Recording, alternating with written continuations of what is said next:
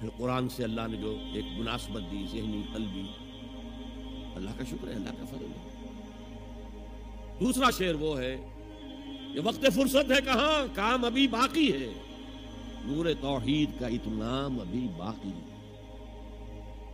पूरा कुरा अर्जी जब तक के तोहीद से जलवागर न हो जाए और इस्लाम का डंका न बच जाए, उस वक्त तक हुजूर का मिशन मुकम्मल नहीं है। हुजूर हवाले करके गए थे उम्मत।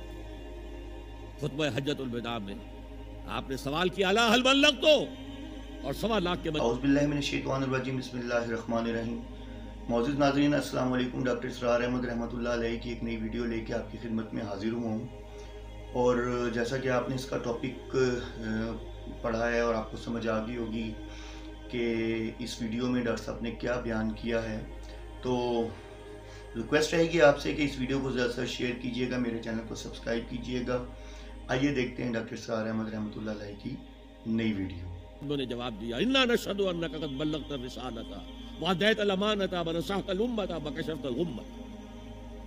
गवाह हैं।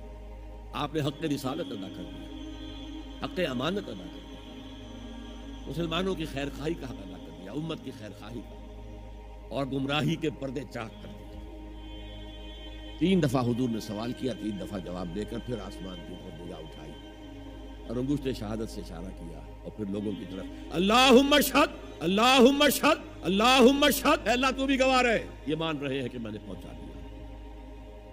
इसे मैं कहा करता हूँ, साई ऑफ़ रिलीफ, कंधों पर एक बहुत बड़ा भारी बोझ आ गया था, बहुत बड़ी अमानत थी कुरान। उसके पहुँचाने पर क्या क्या तकलीफें उठाई पागल कहे गए मजनू कहे गए शायर कहे गए साहिर कहे गए, मशहूर कहे गए ज़्यादा क्या? और फिर जो मारे खाई हैं, जो तीन साल की शेब बनी हाशिम के अंदर, असीरी थी, जिसमें खाने पीने की चीज़ें घाटी में दाखिल नहीं हो सकती थी।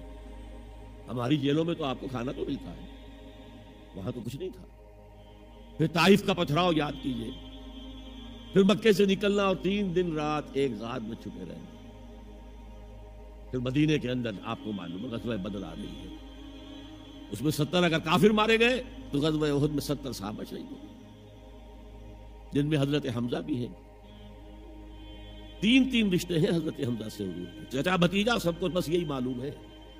चचा भतीजा, खालाजाद भाई, दूध शरीक भाई और अरबों में दूध शरीक भाई, हकीकी भाई के तौर पर होता था। और उनकी लाश सामने आई है कि नाक काट ली गई है, कान काट लिए गए हैं। और पेट चाक करके कलेजा चबाया गया।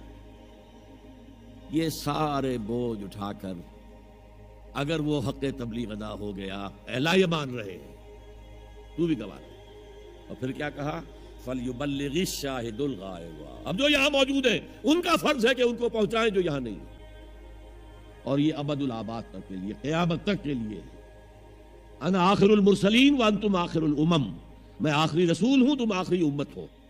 और तुम्हें निकाला गया दुनिया वालों के लिए। दुनिया की दूसरी कौमें अपने लिए जीती हैं, अपनी अजमत, अपना बोलबाला, अपने मफादात, अपनी मसलहतें। और तुम्हें दुनिया वालों के लिए जीना है।